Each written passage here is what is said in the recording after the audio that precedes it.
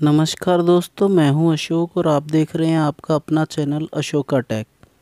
दोस्तों, आज हम देखेंगे एमआई के किसी भी मोबाइल को रिपेयरिंग के लिए कैसे खोलें। इसके लिए आपको कुछ इस तरह के ओपनिंग टूल की ज़रूरत पड़ेगी। ये एक स्टील की पत्ती है जिसमें आगे एक नोक बनी हुई है, लेकिन ये शार्प नहीं है। आप इसकी जगह पेपर कटर या सर्जिकल नाइफ़ का भी यूज़ कर सकते हैं, लेकिन वो आगे से शार्प होते हैं, इसलिए वो बॉडी पर निशान डाल सकते हैं या अंदर किसी पत्ते या बोर्ड को नुकसान पहुँचा सकते हैं।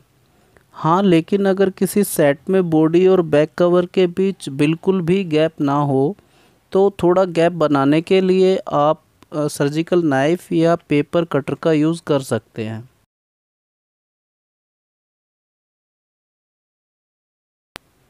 थोड़ा गैप बनाने के बाद फिर आप इसी टूल का यूज़ करें।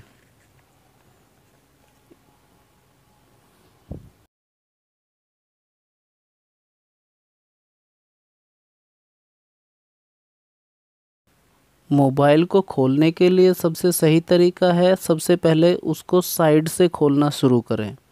क्योंकि साइड में एरिया ज़्यादा होता है, वहाँ पे गैप बनाना आसान रहता है।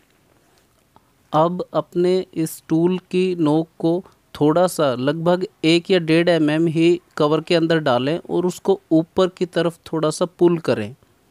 जब आप ऊपर की तरफ़ पुल करेंगे तो फो, कवर ऊपर उठ जाएगा थोड़ा सा और फ़ोन बैक साइड में बाहर की तरफ़ निकलेगा। इसी तरह से यही, इसी तरह से आप पूरे फ़ोन को बाहर निकाल सकते हैं। देखिए कुछ इस तरह से।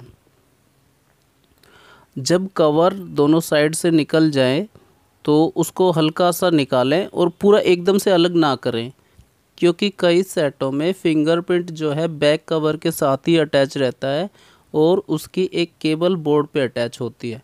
अगर आप उसको सीधे खींच देंगे तो वो केबल टूट जाएगी।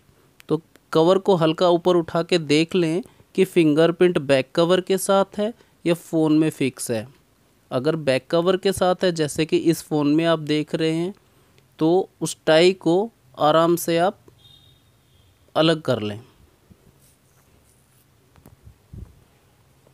इस तरह से आप एमआई के किसी भी मोबाइल को खोल सकते हैं। मोबाइल के लगभग लगभग सभी एमआई के मोबाइल एक ही तरीके से खुलते हैं। मुझे उम्मीद है ये वीडियो आपके लिए काफ़ी हेल्पफुल रहेगी। वीडियो देखने के लिए आपका बहुत बहुत धन्यवाद।